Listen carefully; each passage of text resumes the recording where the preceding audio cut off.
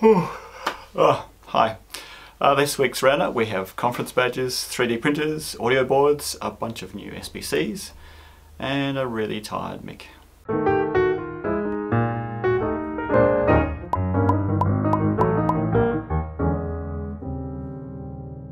First up on Kickstarter, there's a DIN rail mountable enclosure for the Raspberry Pi.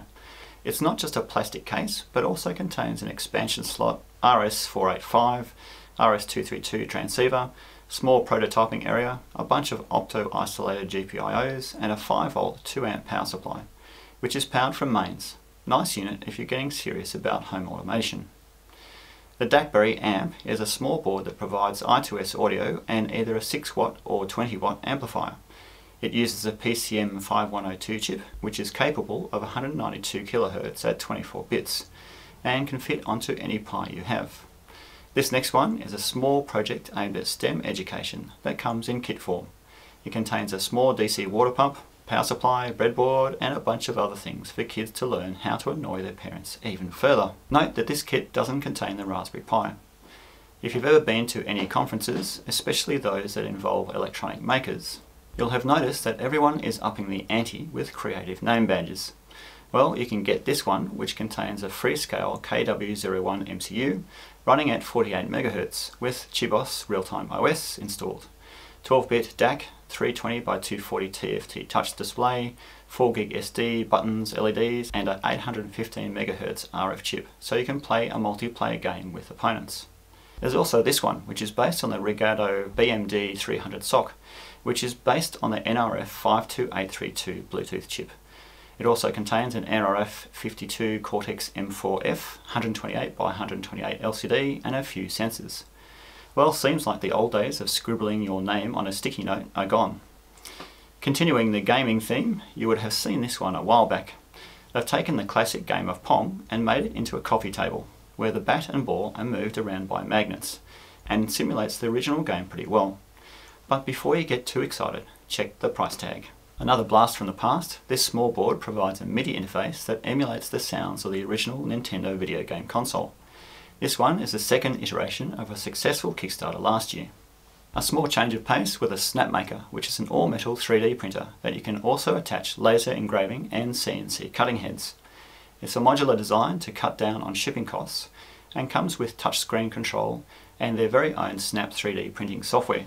It's capable of 50 micron resolution on a 125mm cubed heat bed that they claim levels automatically. For $300 US, it seems to be a pretty solid printer. For 199 euros, you can also pick up the Niryo 1, which is a 6-axis robotic arm that talks over Ethernet, Wi-Fi, Bluetooth or USB to Android or iOS phones, and even has an inbuilt web app. Runs off a 12 volt 7 amp DC power supply and contains a Pi 3 and Arduino Mega. It claims 500 micron repeatability, so it can't be used for things like pick and place, but has a number of different heads such as grippers, electromagnet, vacuum pump, pen holder and DC motor. I'm Back is back with a bolt-on board that will convert your old analog camera into a digital one using a Pi, Arduino, Omega 2 or whatever you have lying around. If you have an old camera and interested in photography, this looks pretty good. The other thing that's good is the big improvement over his last campaign video, which was pretty horrible. Good to see he's back again. Joto looks like a fun product, but I think it's a little too pricey. For 165 British pounds, you get an internet connected whiteboard that you can send messages to. Great concept, but too expensive for me. Looks like I'll have to publish a video on how to do it yourself much cheaper. Nothing interesting on Indiegogo or Crowd Supply this week, but here's a bunch of new SBCs on the market, and a couple that will be launched soon. Connect Tech have come out with several carrier boards for the Jetson TX1 and TX2 called the Cogswell, Spacely and Sprocket. The Cogswell has 5 gigabit Ethernet ports with power over Ethernet designed for vision analysis. The Spacely has 6 MIPI CSI and connectivity to Pixhawk autopilot board. And the Sprocket is a tiny carrier board that just fits the Jetson board. All of them come with a bucket load of GPIO options. AAEON will soon be releasing the RICO 3288 SBC, which runs the Rockchip RK 3288 quad-core ARM Cortex-A17 at 1.6 GHz. Also contains 16 gigs eMMC, 2 gigs DDR3 RAM, SD slot, gigabit Ethernet, mini PCIe, and dual LCD and HDMI. Looks like an interesting board, but I'm betting the price tag will be around the $150 US mark. Hot on the heels of the Up 2, there will be a smaller footprint board called the Up Core.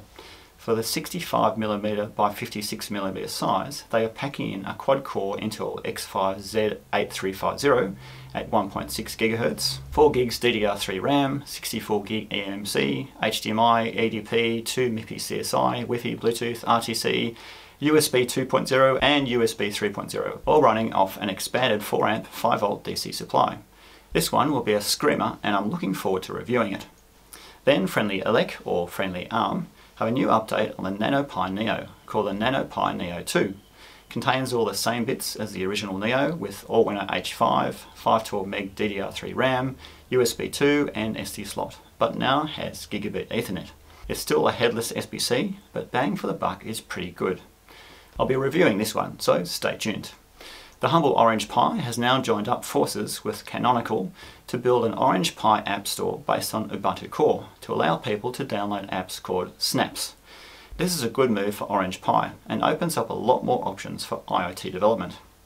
Speaking of Orange Pi, we now have a new board called, inventively, the Orange Pi Zero Plus 2. This one abandons the H2 Plus in favour of the H3 and also adds in HDMI and a newer Wi-Fi chip based on the AMPAK AP6212. This means no more iffy Wi-Fi.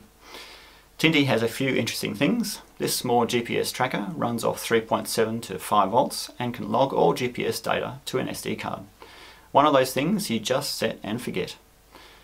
This small board has an ESP8266 on board along with LiPo battery management. The creator claims to be able to run it for 17 hours from a 3 amp hour LiPo.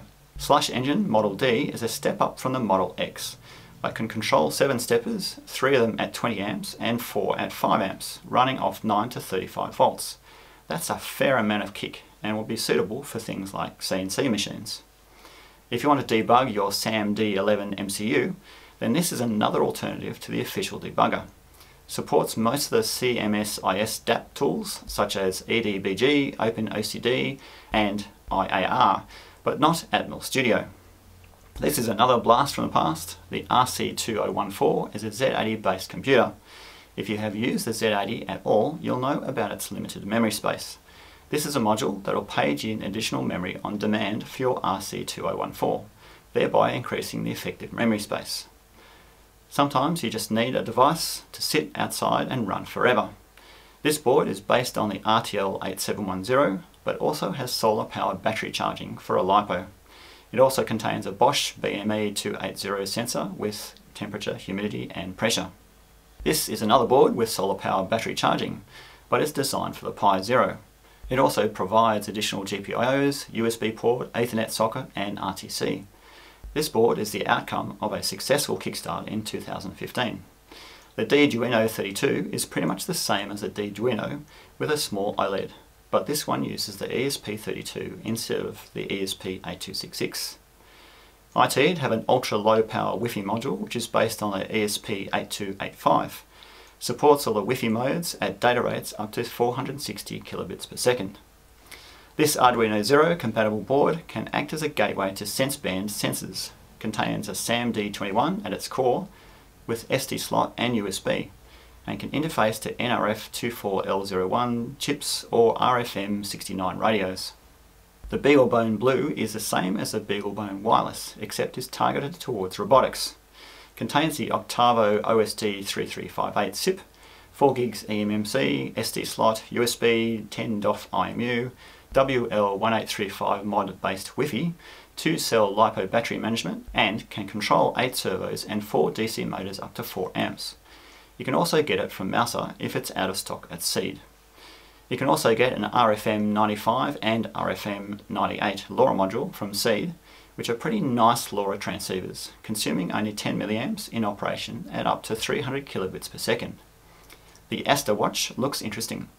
It runs a MediaTek MT2502D Bluetooth module with 240 by 240 color LCD, onboard microphone and a bunch of GPIO options, all running off a standard 3.7 volt LiPo. Over at Adafruit, they have a small distance rangefinder that's capable of sensing from 5mm to 50mm at 400Hz sampling rate. That's pretty fast. SparkFun have their Teensy View In, which is a 128 by 32 monochrome OLED add-on for your Teensy, based on the SSD1306 chip. Can be used on any of the Teensy 3 series of boards. And they also have in stock the BeagleBone Black Wireless. Over at Banggood there's a fairly decent solar panel charging controller, capable of 20 amps at 12 or 24 volts, with lightning, overvoltage and overcharge protection. And a key wireless charging board capable of spitting out 1.5 amps at 5 volts. And this board provides a LiPo-backed 5-port hub designed to attach to your Raspberry Pi. Uses a 1. amp hour battery but lacks any power management, so you can't shut down when the battery gets low. And similar to last week's loaner kit, this one has a bunch of stuff that would cost more if you were buying it separately. Man, this was a difficult week for me getting this video out with lightning strikes, flooding and moving data over to a new NAS device. But anyway, got there in the end. If you know of any other online stores I should be looking at, then let me know in the comments below and I'll add it to the list. Anyway, thanks for watching and see you next week.